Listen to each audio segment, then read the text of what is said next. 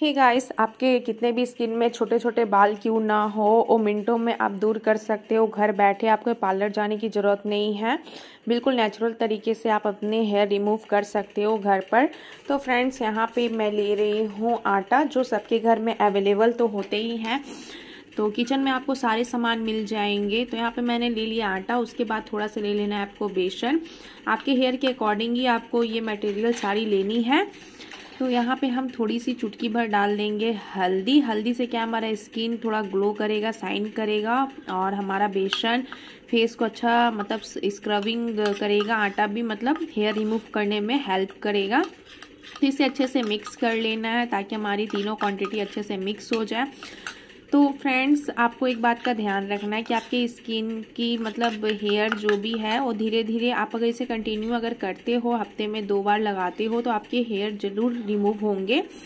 लेकिन आपको इसे कंटिन्यू करना है। एक दिन में आपके अगर ज़्यादा ग्रोथ है बाल के तो एक दिन में तो रिमूव नहीं होंगे बट होंगे ज़रूर आप धीरे धीरे रिमूव हो जाएँगे आपके सारे हेयर। और यहाँ पे मैं ले लूँगी कच्चा दूध। कच्चा दूध हमारे स्किन के लिए काफ़ी हेल्पफुल होता है। इससे ना मॉइस्चराइज मिलेगा, आपके स्किन में साइन आएगी, ग्लो आएगी और हेयर रिमूव करने में बहुत ही मदद मिलेगी। तो आपको इस पेस्ट को ना बिल्कुल ठीक सा रेडी करना है। और दूध थोड़ा थोड़ा ही मात्रा में आपको मिलाना है ताकि ये पेस्ट बिल्कुल भी पतला नहीं होना चाहिए, बिल्कुल ठीक से होना चाहिए ताकि हमारे जहाँ जहाँ हेयर है, वहाँ ईज़िली मतलब वहाँ आप लगा सको। तो यहाँ पे देख सकते हो ये हमारा पेस्ट रेडी हो चुका है।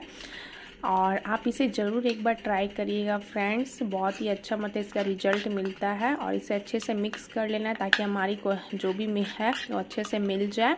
तो आप देख सकते हो बिल्कुल ठीक सा हो गया है ये। आपको बिल्कुल इस तरीके से पेस्ट को रेडी कर लेना है। और आप अपनी स्किन में देख सकते हो मेरे साइड साइड थोड़ा थोड़ा हेयर है। मेरे स्किन में ज़्यादा हेयर नहीं है, बट हल्का हल्का है। तो मैं पार्लर पे मतलब जाना पसंद नहीं करती हूँ, मैं घर बैठे ही सब करना पसंद करती हूँ।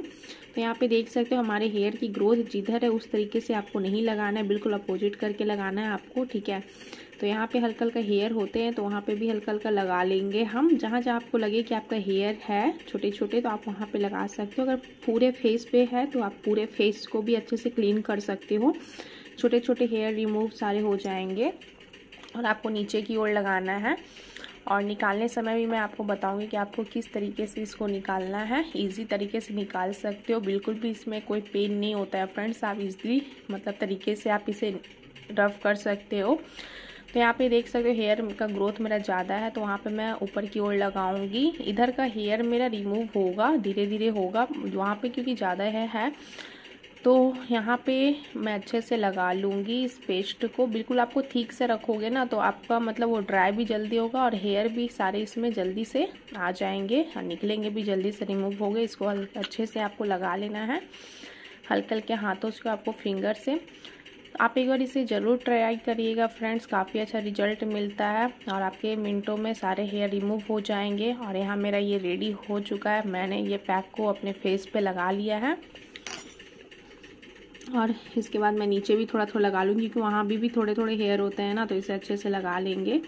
आप घर बैठ के ना नेचुरल तरीके से अपने हेयर को रिमूव कर सकते हो। तो अब मैं इसे ना ड्राई होने के लिए छोड़ दूँगी। जब तक ये सूख ना जाए ना, तब तक आपको इसे ड्राई होने के लिए छोड़ देना आपको कोई जल्दबाजी नहीं करना है फ्रेंड्स क्योंकि इसका कोई साइड इफ़ेक्ट नहीं है कि बिल्कुल आपको कोई प्रॉब्लम सी हो इचिंग सी हो। तो आपको इसे सूखने के लिए छोड़ देना है।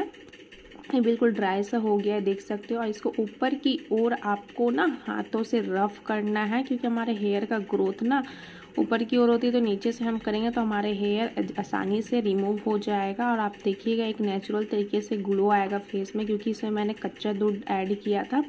कच्चा दूध हमारे स्किन के लिए काफ़ी अच्छा होता है, हल्दी, बेसन, आटा भी जो मैंने लिया था काफ़ी अच्छा होता है, इसका कोई साइड इफ़ेक्ट नहीं है। फ्रेंड्स अगर आपको कोई प्रॉब्लम हो तो प्लीज़ आप इसे तुरंत हटा सकते हो। तो यहाँ पे देख सकते हो, अच्छे से रिमूव हो रहा है। हल्के हल्के हाथों से मैं रिमूव कर रही हूँ। लगभग मेरा यहाँ पे रिमूव हो गया है। थोड़ी सी प्रॉब्लम यहाँ हो रही थी क्योंकि वहाँ हेयर मेरा ज़्यादा था। तो वहाँ पे थोड़ा सा प्रॉब्लम हो रहा था मुझे निकालने में, क्योंकि वहाँ पे ड्राई हो गया था ना तो हेयर जब निकलता है तो थोड़ा सा तो पेन होता है बट वहाँ पे ज़्यादा था तो इसलिए मुझे रिमूव करने में ज़्यादा थोड़ा टाइम लग रहा था। आप इजी तरीके से आप अगर डेली अगर इसे कंटिन्यू करते हो तो इजी तरीके से आपके हेयर सारे हेयर रिमूव हो जाएँगे, आपको पार्लर जाके हेयर रिमूव भी कराना नहीं पड़ेगा वैक्स भी नहीं कराना पड़ेगा। आप बिल्कुल नेचुरल तरीके से आप अपने हेयर रिमूव कर सकते हो घर बैठे। तो इसे अच्छे से कॉटन के कपड़े से मैं फेस को अच्छे से पानी से पोछ लूँगी। और आप देख सकते हो मेरा हेयर बिल्कुल साइन सा कर मतलब हेयर सॉरी स्किन बिल्कुल साइन सा कर रहा है।